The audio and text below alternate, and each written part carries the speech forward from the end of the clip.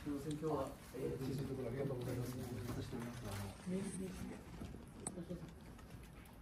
以前第一会館はい。はい。はい。なんだか環境会館だったので、はい。しました。非常に。ありがとうござい。ます。ありがとうござい。ます。よろし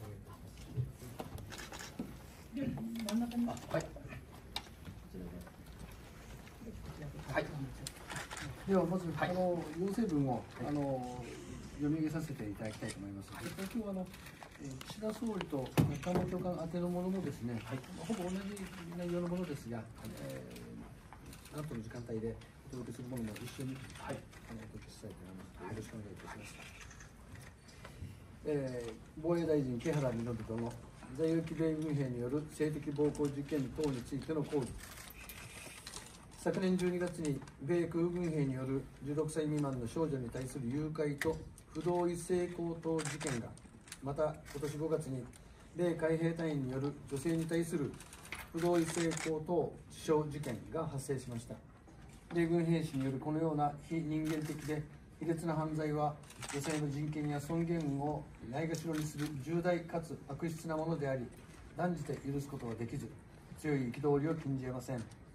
またこのような悪質な事件が立て続けに発覚したことは県民に強い不安を与えるものです。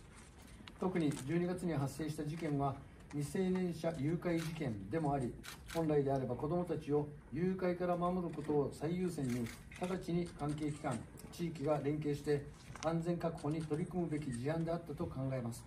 しかしながら県や地元自治体に一切の連絡がなく結果県として何ら対応を取ることができなかったことは極めて大きな問題であると考えております。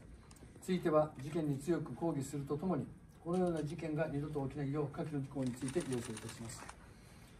1日米両政府においてより実効性のある再発防止策を早急に講じその内容を県民に公表すること。2リバティ制度における外出制限措置のさらなる厳格化を図るとともに在役米軍兵士に対する教育や管理を徹底させること。3日米両政府において被害者に対する適切な保障を遅滞なく実施すること。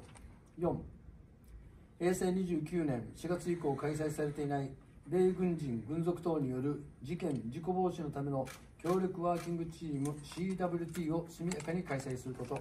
5米軍人による事件事故について県への通報を徹底すること。以上です。よろしくお願いしますちょ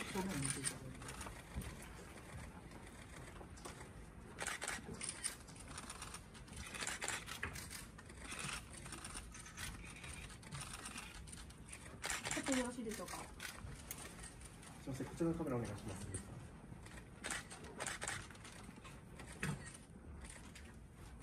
みません、こちらお願いします。はい。すいませんこちらも目線お願いしますありがとうございますありがとうございますでは撮影以上とさせてます。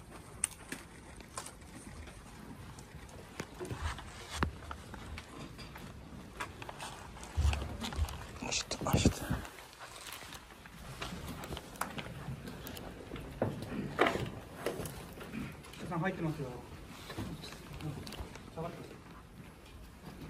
え玉城知事におかれましては、えー対応のところ、防衛省まで足をお運びいただき、ありがとうございます。